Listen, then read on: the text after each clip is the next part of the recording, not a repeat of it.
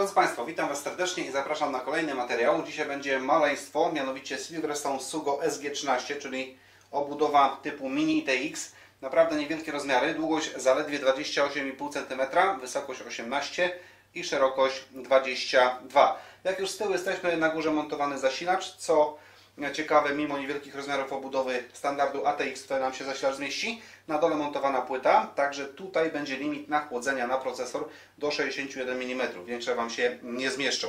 Dwa sloty rozszerzeń wykręcane, wentylowane. Tyle jeżeli chodzi o tył. Na panelu bocznym otwory wentylacyjne, niestety bez filtra. Również otwory wentylacyjne na przednim panelu z boku. Jak już przy przednim panelu jesteśmy, ramka wykonana z plastiku, natomiast pokryte są siatką. Pod siatką znajduje się filtr również typu siateczkowego, którego niestety wyjąć możemy tylko i wyłącznie po zdjęciu panelu e, przedniego. Możliwość zamontowania wentylatora 120 lub 140 mm na przodzie, niestety opcjonalnie, bo nie jest on dołączony w komplecie. Dwa wejścia USB 3.0, wejście na słuchawki, mikrofon i logo Silverstone'a. Kolejny panel boczny, również perforowany. To z pewnością przyda się e, jeżeli będziecie montowali w tej obudowie karty graficzne dedykowane. Niestety znowu nie mamy tutaj filtra, Także filtr tylko i wyłącznie znajduje się na przodzie obudowy. I panel górny. Również otwory wentylacyjne, także obudowa dość dziurawa, że tak powiem. Bez filtra. Natomiast tutaj te otwory przydadzą się z pewnością do schłodzenia zasilacza, bo możemy zainstalować go wentylatorem do góry. I będzie to moim zdaniem dość dobry pomysł. E, na panelu przednim jeszcze tutaj od góry mamy przycisk Power i diodę od zasilania. Nie mamy przycisku Reset. Na spodzie cztery nóżki gumowe przyklejane, także nie mam pojęcia jak będzie z trwałością tych nóżek, czy nie będą się odklejały i możliwość zainstalowania dysku 2,5 cala, czy tak naprawdę umówmy się dysku SSD. Teraz pozwólcie, że e, rozbiorę troszkę obudowę, zobaczymy jak to wygląda w środku i powiem Wam jeszcze jakie są opcje inne dodatkowe do montażu dysków w tej obudowie. Tak wygląda obudowa rozebrana do szpiku kości. Osoby niepełnoletnie proszę o wyłączenie odbiorników. Oczywiście żartuję.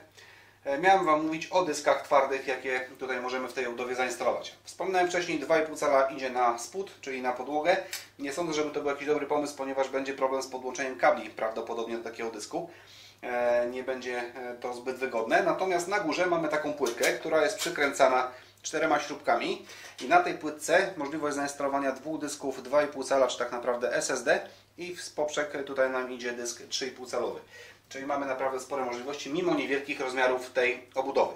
I kolejna rzecz, wsparcie dla chłodnic, mm, tak nie tyle chłodnic, co chłodzeń all-in-one z chłodnicami do 120 mm, co nie jest głupim pomysłem, bo jeżeli ktokolwiek by się zdecydował jednak na zamontowanie jakiegokolwiek e, komputera gamingowego w tej obudowie, e, to ze względu na limit jaki mamy na wysokość chłodzeń na procesor, takie chłodzenie all-in-one nie będzie głupim rozwiązaniem i z pewnością da lepiej radę sobie, aniżeli jakieś niskoprofilowe chłodzenie. Także tutaj e, taka możliwość istnieje. Tyle jeżeli chodzi o sesję rozbieraną, a ja teraz e, zamontuję wszystkie podzespoły w środku, zobaczymy i jak to wszystko wygląda. Pokażę Wam montaż elementów e, etapami, bo inaczej ciężko cokolwiek będzie zobaczyć ze względu na małe rozmiary obudowy. Na razie jest płyta główna oczywiście z procesorem pamięciami i na to posadziłem chłodzenie semiwodne, tak zwany gotowiec TD03 od Silverstona. Mm, można wprawdzie zamontować chłodnicę w konfiguracji push-pull, zobaczcie, że jest na to miejsce, ale będzie wtedy problem z wężami prawdopodobnie. Ja już teraz będę miał pewnie problem, bo mm, węże raz, że muszą wejść pod zasilacz, a dwa, że jeszcze muszę zamontować kartę graficzną. Także może być tutaj e, troszkę zabawy z tym wszystkim. Nie wiem, czy nie będę musiał węży przekładać na drugą stronę.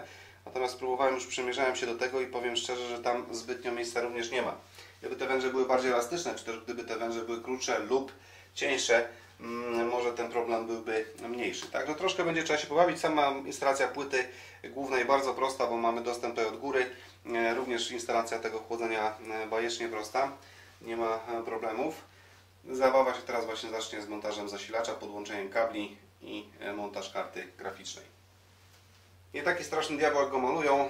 Wprawdzie trzeba było przełożyć pozycję chłodnicy, aby poprowadzić inaczej węże no, ale zasilacz się zmieścił, wprawdzie węże do niego dotykają, natomiast nie wywierają na niego żadnego nacisku. Wentylator na zasilaczu jest zamontowany e, ku górze. Z tej strony wygląda to w ten sposób. To jest zasilacz semi-modularny i taki Wam proponuję tutaj montować, bo inaczej będziecie mieli naprawdę nie lada wyzwanie. E, I teraz dobrze widać, że gdybyśmy się zdecydowali na chłodnicę w push-pull, no nie było tutaj e, przyjemnie układać tego wszystkiego w środku. Dlatego też chłodnica z jednym wentylatorem jak najbardziej zalecana, jeżeli już, ale oczywiście możecie sobie również zainstalować tutaj chłodzenie powietrzem. Tylko w tym momencie, jak wspomniałem wcześniej, może być problem ze schłodzeniem procesora, gdybyście mieli jakiś bardziej wydajny, podkręcony powiedzmy. Tak wygląda efekt końcowy. Instalacja przebiegła dość sprawnie, bez większych problemów. Karty długie na 26,5 cm, takie Wam się zmieszczą do tej obudowy, pod warunkiem, że macie wejścia zasilające na boku. Większość kart tak naprawdę takie ma, także problemu nie będzie. I taka uwaga, jeżeli używacie zasilacza ATX, niestety nie będziecie mogli zamontować tej klatki na dyski na górze, nazwijmy to klatką, ponieważ będzie ona o ten zasilacz haczyła. Dlatego też ja SSD umieściłem tutaj, ale pamiętajcie, że macie miejsce na dysk 2,5 cala na spodzie obudowy i bez problemu, jeżeli macie takie kable płaskie, e, zasilające SATA w obudowie, to bez problemu będziecie mogli podłączyć je pod dysk, także nie będzie z tym żadnego bólu. E, niestety, jeżeli chcecie używać zasilacza ATX i dysku 3,5 calowego, nie będzie takiej możliwości, żeby w tej obudowie go zamontować. Także mały ból i z dyskami tu może być delikatny problem. Tyle chyba, jeżeli chodzi o tą skrzynkę, jak ona wygląda już z zamontowanymi elementami. A teraz przejdziemy sobie do krótkiego teścigu, sprawdzimy temperatury na karcie graficznej. Zobaczymy jak ona sobie prowadzi. Wiadomo, że procesor tutaj nie będę robił testów, bo to jest i trójka, także nie zagrzeje się, a dwa, że mamy wydajne chłodzenie w postaci mm, chłodzenia all-in-one, aż za dobrego jak na ten procesor. Dlatego też nie będę robił takiego testu, sensu najmniejszego nie ma, ale sprawdzimy sobie jak zachowa się karta. Nie powinno być problemu, bo mamy tutaj otwory wentylacyjne na boku, przez które ona będzie została sobie świeże powietrze. Za chwilę zerkniemy sobie na temperaturę karty graficznej, jak i również procesora. Natomiast małe sprostowanie, mianowicie u góry mamy przycisk Power i Reset, czyli ten mały utwór to jest Reset, a diody mamy na dole od zasilania i od dysku twardego. Także na początku prowadziłem Was w błąd. Zerknijmy sobie teraz na temperaturę karty GTX 460. Ups, za mocno chyba. Teraz powinno to dobrze być widoczne.